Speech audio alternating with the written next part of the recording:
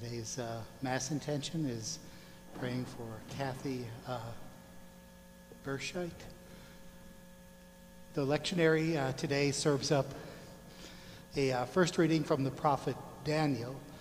The prophet puts into words uh, people's sorrow, uh, their need for God's mercy. The gospel, then, of course, is a, a message from Jesus, the Sermon on the Plain in Luke about mercy and forgiveness. So we begin. In the name of the Father, and of the Son, and of the Holy Spirit. The Lord be with you. Of course, we open ourselves again to his Spirit present in this place. Lord Jesus, you came to reconcile us to one another and to the Father. Lord, have mercy. You heal the wounds of sin and division. Christ, have mercy. You intercede for us with your Father. Lord, have mercy.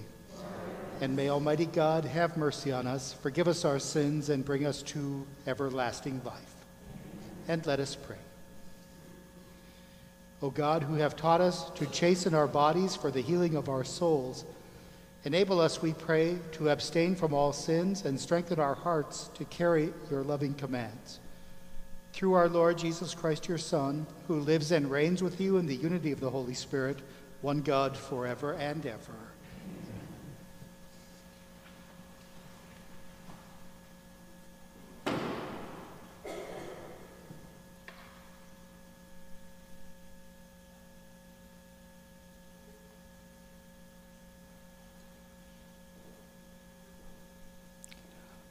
Reading from the book of the prophet Daniel. Lord, great and awesome God, you who keep your merciful covenant toward those who love you and observe your commandments.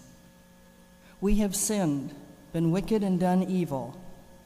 We have rebelled and departed from your commandments and your laws. We have not obeyed your servants, the prophets, who spoke in your name to our kings, our princes, our fathers, and all the people of the land. Justice, O Lord, is on your side. We are shamefaced even to this day. We, the men of Judah, the residents of Jerusalem and Israel, near and far, and all the countries to which you have scattered them, because of their treachery toward you. O Lord, we are shamefaced, like our kings, our princesses, and our fathers for having sinned against you. But yours, O Lord, our God, are compassion and forgiveness. Yet we rebelled against you and paid no heed to your command, O Lord, our God, to live by the law you gave us through your servants, the prophets. The word of the Lord. Lord, do not deal with us according to our sins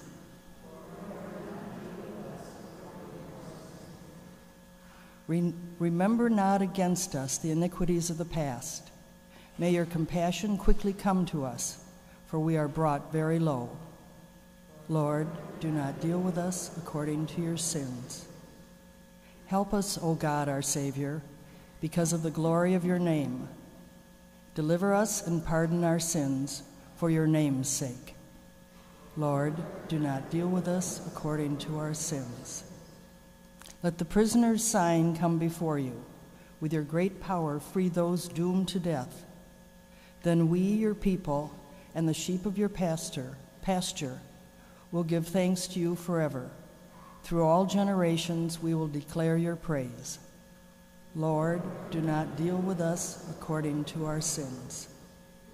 Glory to you, Word of God, Lord Jesus Christ. Glory to you. Your words, Lord, are spirit and life. You have the words of everlasting life.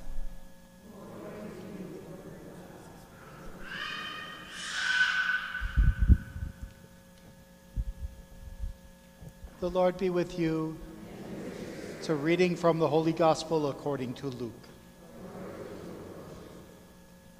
Jesus said to his disciples, Be merciful, just as your Father is merciful. Stop judging, and you will not be judged. Stop condemning, and you will not be condemned. Forgive, and you will be forgiven. Give, and gifts will be given to you. A good measure, packed together, shaken down, and overflowing, will be poured into your lap. For the measure with which you measure will in return be measured out to you. The Gospel of the Lord.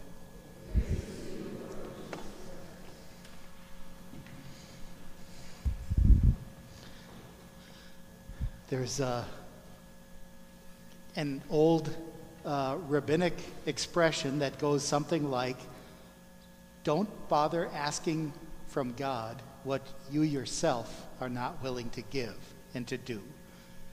That would seem to echo the message uh, from Jesus here in this Sermon on the Plain. Uh, it's the Lucan parallel to the Sermon on the Mount, although it's much shorter. Uh, there's a version of the Lord's Prayer, although that's shorter too, and, and of the Beatitudes, uh, which is a little bit different. The message is clear, though, that uh, there's a kind of reciprocity about forgiveness and mercy. One uh, retreat director that I know, uh, he uh, often will ask people, Are you living the kind of life that you would like people to remember you by? Are you, uh, are you merciful and are you a forgiving person, kind and uh, looking out for others? Uh, all the kind of things you would like people to remember. Of course, it's not as important what people remember, it's what God remembers. Uh, God remembers all of it. Uh, we have this great season of Lent. Uh, it's really not just for 40 days. Uh, hopefully, some of it, uh, you know, the, the metanoia, the, the self awareness that can come about will last our whole lifetime. Uh, that we're called to be a people of mercy and forgiveness. It's easy to stand here. Forgiveness, of course, it's much harder to live it, uh, especially when we've been hurt by someone or something, to actually be willing to forgive and forget uh, to, to, without bad feelings, without holding a grudge. Uh, it's intensely difficult, but it's the centerpiece of Jesus' prayer. We're going to say the Lord's Prayer in just a few minutes here, Matthew's version. It cuts a deal with God, basically saying, Forgive us our trespasses, our sins, as we forgive others. It's a pretty radical concept uh, that I don't want any more or less forgiveness from God than I'm actually willing to practice. Wow. Uh, deal. Uh, we hear these uh, from the very mouth of Jesus. Uh, he leads us to salvation and new life. We want to follow. It's not always a cakewalk, but it's a good thing. It frees us uh, from, you know, the pitfalls of life. It not only releases perpetrators, but releases the victims in a way too. We're called to reconciliation, to peace.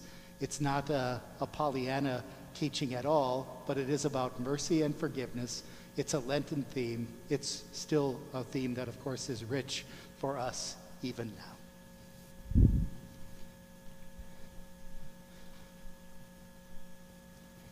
And so as a Lenten people, we are confident to place once again all of our prayers in God's hands. And so we lift up our family and friends, our neighbors, those closest to us, members of the parish here, most especially those who are struggling today in some way, facing sickness and even death. We pray to the Lord. We continue to pray for an end, even though an end doesn't look to be in sight. We pray for an end to this terrible war in Ukraine and justice for the Ukrainian people. We pray to the Lord. Loving God, you do call us to be a people of forgiveness, to be a Lenten people. We ask for your grace every day, and we ask all of our prayers through Christ our Lord.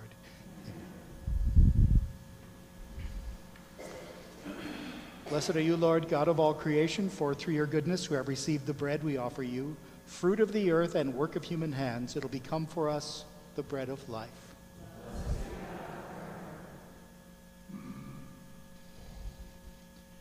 And blessed are you, Lord, God of all creation, for through your goodness we have received the wine we offer you, fruit of the vine and work of human hands, it'll become our spiritual drink.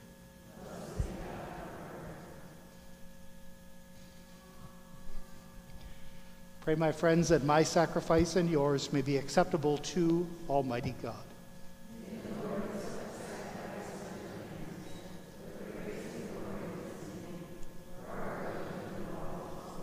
Accept in your goodness these our prayers, O Lord, and set free from worldly attractions those you allow to serve the heavenly mysteries through Christ our Lord. The Lord be with you. Lift up your hearts. Let us give thanks to the Lord our God. It is truly right and just, our duty and our salvation, always and everywhere, to give you thanks, Lord, Holy Father, Almighty and eternal God.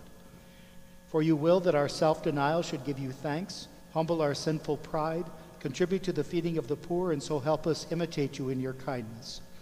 And so we glorify you with countless angels, as with one voice of praise we acclaim Holy, holy, holy Lord God of hosts, heaven and earth are full of your glory. Hosanna in the highest. Blessed is he who comes in the name of the Lord. Hosanna in the highest. You are indeed holy, O Lord, the fount of all holiness. Make holy, therefore, these gifts, we pray, by sending down your Spirit upon them. They may become for us the body and blood of our Lord Jesus Christ. At the time he was betrayed and entered willingly into his passion, he took bread and giving thanks broke it and gave it to his disciples, saying, Take this, all of you, and eat of it, for this is my body, which will be given up for you.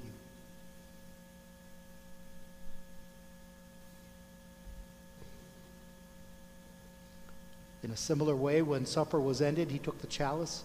Once more giving thanks, he gave it to his disciples, saying, Take this, all of you, and drink from it, for this is the chalice of my blood, the blood of the new and eternal covenant which will be poured out for you and for many for the forgiveness of sins. Do this in memory of me.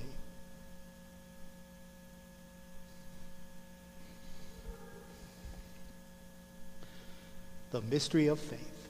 When we eat this bread and drink this cup, we proclaim your death, O Lord, until you come again. Therefore, as we celebrate the memorial of his death and resurrection, we offer you, Lord, the bread of life and the chalice of salvation giving thanks that you've held us worthy to be in your presence and minister to you. Humbly we pray that partaking of the body and blood of Christ, we may be gathered into one by the Holy Spirit. Remember, Lord, your church spread throughout the world and bring her to the fullness of charity, together with Francis our Pope, Bernard our Bishop, and all the clergy. Remember also our brothers and sisters who have fallen asleep in the hope of the resurrection, and all who've died in your mercy. Welcome them into the light of your face.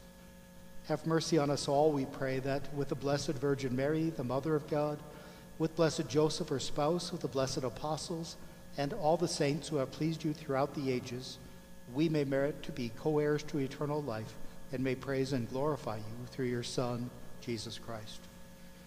Through him and with him and in him, O God Almighty Father, in the unity of the Holy Spirit, all glory and honor is yours forever and ever. course, we have the very familiar and radical prayer of Jesus every day, and so we can say, Our Father, who art in heaven, hallowed be thy name. Thy kingdom come, thy will be done, on earth as it is in heaven. Give us this day our daily bread, and forgive us our trespasses, as we forgive those who trespass against us. And lead us not into temptation, but deliver us from evil. Deliver us, Lord, we pray, from every evil. Graciously grant peace in our days, that by the help of your mercy we may be always free from sin and safe from all distress, as we await the blessed hope and the coming of our Savior, Jesus Christ. For the kingdom, the power, and the glory are yours, now and forever. Lord Jesus, who said to your apostles, Peace I leave you, my peace I give you, look not on our sins, but on the faith of your church and graciously grant her peace and unity in accordance with your will, you who live and reign forever and ever. Amen. The peace of the Lord be with you always. Let's turn to each other, one another then, and offer some sign of God's peace.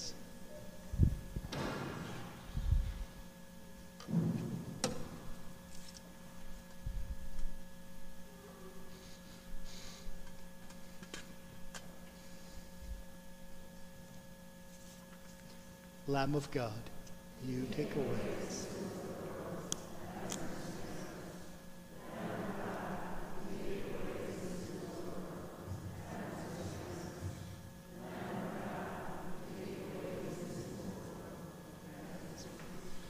Behold the Lamb of God. Behold him who takes away the sins of the world.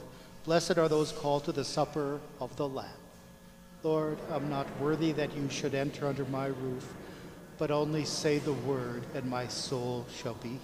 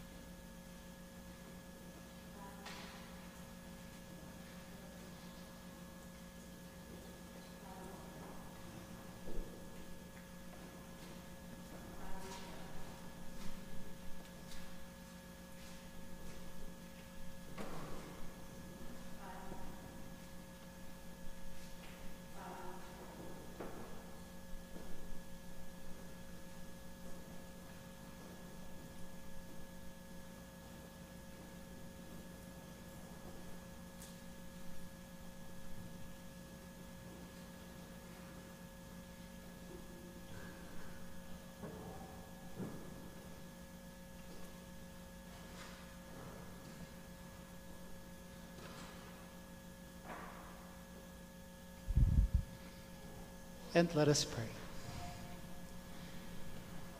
May this communion, O Lord, cleanse us of wrongdoing and make us heirs to the joy of heaven through Christ our Lord. The Lord be with you. May Almighty God bless you today, the Father, the Son, and the Holy Spirit. Our Mass is ended. Let us go in peace. Thanks be to God.